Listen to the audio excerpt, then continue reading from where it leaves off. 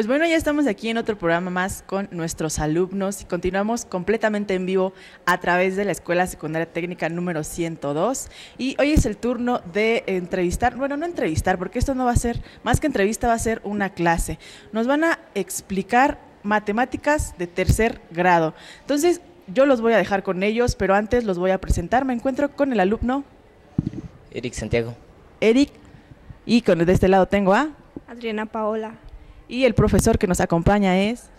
El profesor Heriberto Rodríguez de la Técnica 102, bienvenidos.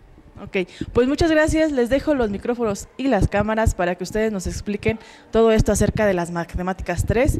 Los voy a poner mucha atención porque yo con eso de las matemáticas estoy verde, ¿ok? Bueno, te entrego el micrófono. Jóvenes, estamos aquí en esta clase de matemáticas para que nos presenten todo aquello que ustedes han logrado desarrollar a través de nuestro aprendizaje esperado, que es el manejo de ecuaciones cuadráticas. Como yo les había comentado la clase anterior, a partir de un simple fenómeno como tirar un objeto al piso, se pueden aplicar las matemáticas. En este caso, hicimos el esquema. Soltamos un objeto que va cayendo lentamente al piso. Con este esquema nosotros podemos obtener una tabla de valores, tenemos dos variables, tiempo y distancia. ¿Podrían explicarme qué es lo que ustedes lograron desarrollar a partir de esta tabla de valores?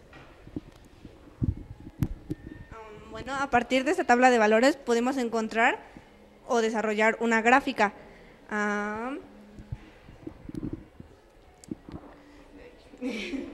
De la gráfica destacamos que tiempo es la variante X y la distancia es la variante Y que en esta aquí tenemos las dos variables que ustedes ya hicieron. La distancia tenemos que la colocaron en la variable Y y tenemos que el tiempo la colocaron en la variable X.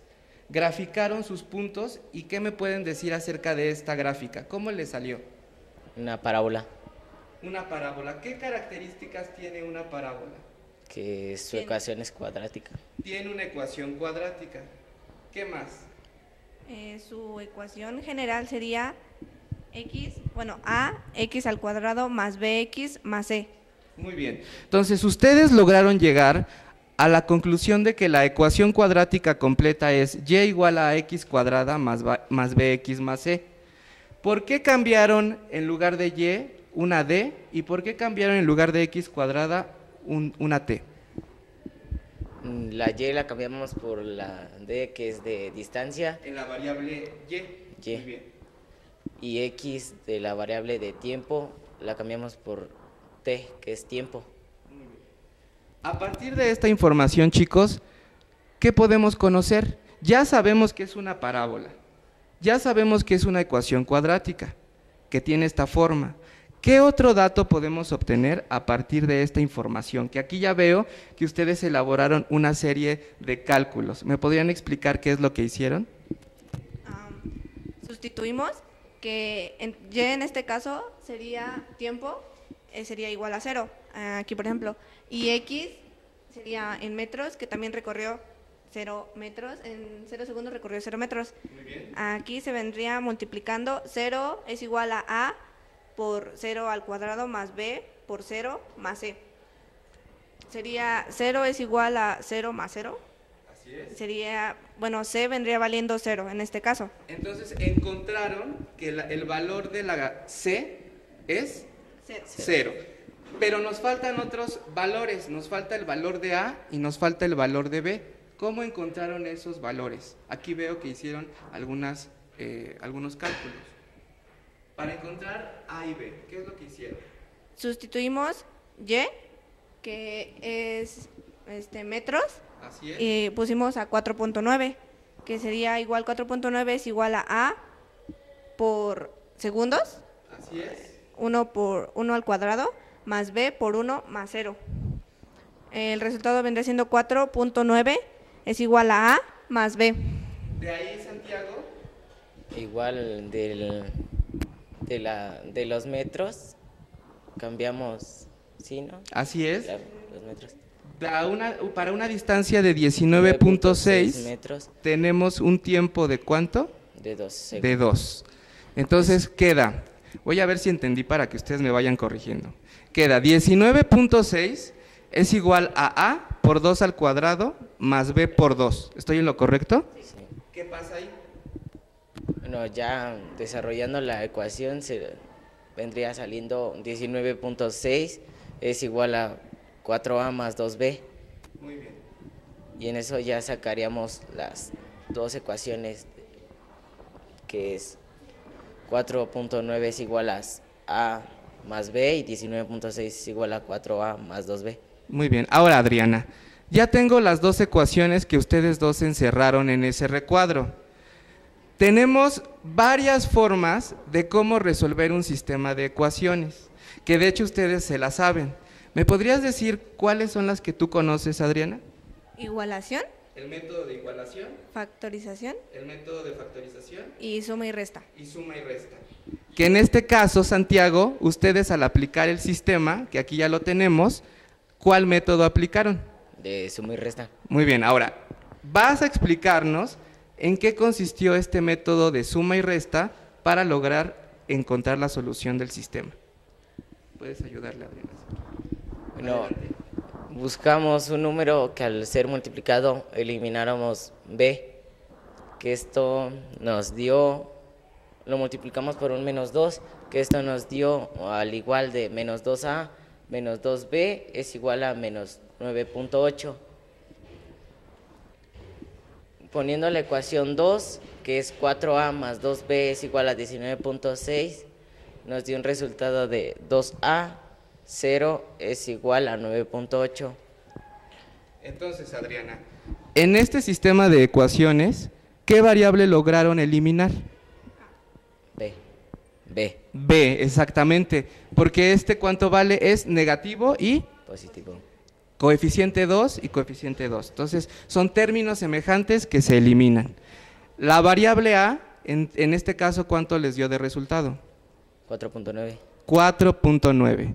Si ya conozco que C es igual a 0, porque aquí lo obtuvieron, si ya conozco que la variable A es igual a 4.9, ¿cómo encuentro el valor de la variable B?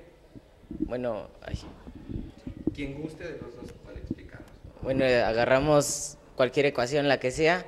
Aquí agarramos la primera ecuación, que es A más B es igual a 4.9. Sustituimos A, que ya conocemos eh, su valor, que es de 4.9. Quedaría 4.9 más B es igual a 4.9.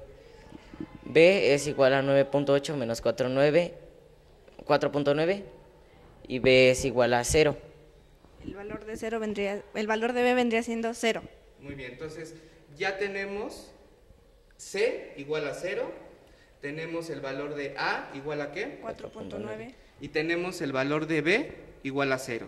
Entonces, ya que encontraron las tres variables, ¿cómo queda finalmente su ecuación? Yo veo que ahí pusieron una flecha. ¿Cómo quedó su ecuación? La ecuación sería d de distancia es igual a 4.9 t de tiempo al cuadrado. Que para encontrar este el tiempo en segundos de 3 segundos sería d es igual a 4.9 por 3 al cuadrado. d es igual a 4.9 por 9, que vendría siendo d es igual a 44.1. Muy bien, y entonces, para cuatro. Para el- los 4 segundos vendría siendo D es igual a 4.9 por 4 al cuadrado, que D es igual a 4.9 por 16.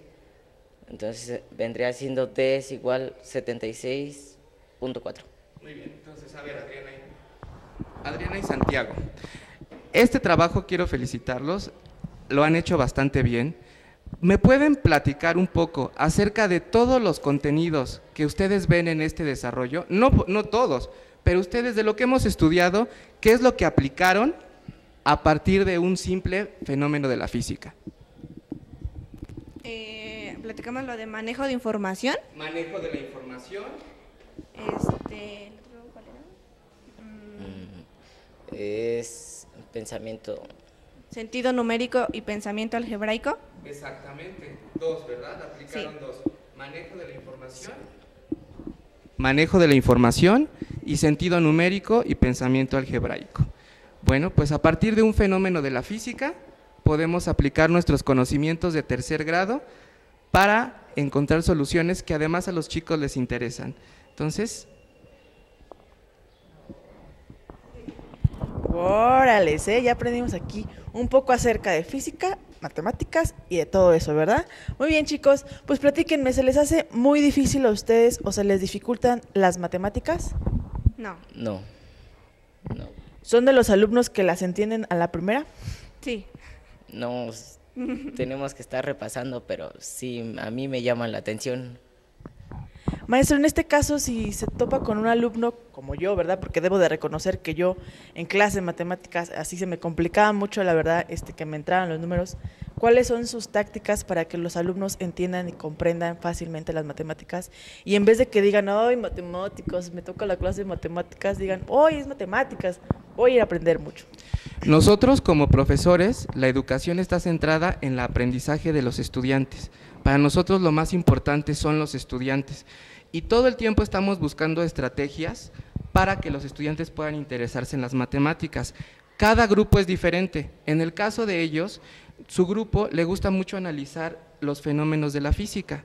Entonces fue a partir de que en una clase les planteé la, situación de que qué pasaba, qué podíamos aplicar de matemáticas cuando soltábamos un simple objeto, ellos lograron em, eh, establecer ciertas situaciones. Entonces, todos los grupos son diferentes, pero como profesores siempre estamos buscando atender la necesidad de cada grupo. Hay unos, por ejemplo, que son muy dinámicos, otros son más callados. Entonces, cada grupo es diferente, pero siempre tratando de buscar las, pues, las técnicas para que ellos puedan aprender. Ok, pues ya vieron, ya les dieron unos consejos ahí para que los que no le entren las matemáticas se pongan a, estudiar, a analizar y obviamente se acerquen a los profesores que los ayuden y les expliquen así básicamente a detalle, si se puede con manzanitas para que les quede claro y tengan un resultado excelente dentro de sus calificaciones. Pues bueno, ya para despedirnos quiero que envíen saludos a quienes ustedes quieran. Les dejo los micrófonos y comenzamos contigo, ¿te parece? Ah, yo envío saludos a toda la comunidad de la Escuela Secundaria Técnica 102 y a mi familia. Con el alumno también. Pues, le envío saludos a mi familia y a, pues, todos mis amigos de acá, de la escuela. Yo le quiero enviar un caluroso saludo a toda la comunidad de escuelas secundarias técnicas. Gracias. Ok, pues continuamos aquí con más programación desde la Escuela Secundaria Técnica número 102. No se despeguen, continuamos con el programa Soy Técnico. Recuerden que hoy estuvimos con los alumnos, ¿de qué grado son? De tercero K, aquí desde la 102. Esto es nuestros alumnos, estamos en DGSTV, TV Aprendiendo.